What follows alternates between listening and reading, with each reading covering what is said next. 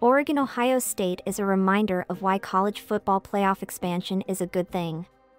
The matchup was a sign of the current times in college football, a pair of veteran, transfer quarterbacks leading teams separated by nearly 2,500 miles, yet facing off in league play thanks to conference realignment.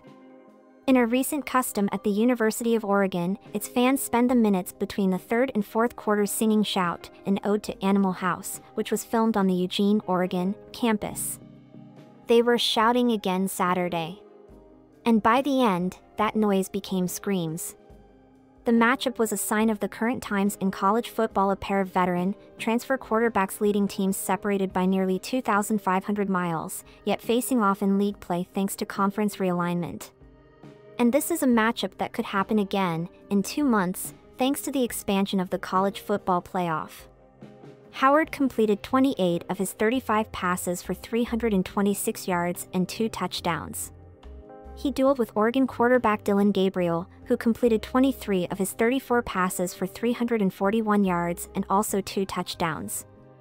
But Saturday's back and forth result was an example of why the expansion of the playoff this year to 12 teams could endure as a good thing.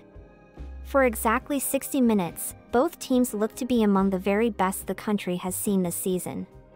The expansion ensures both, and not only the winner, will have the opportunity to prove that in December and potentially January, instead of penalizing one for a result on the second weekend in October.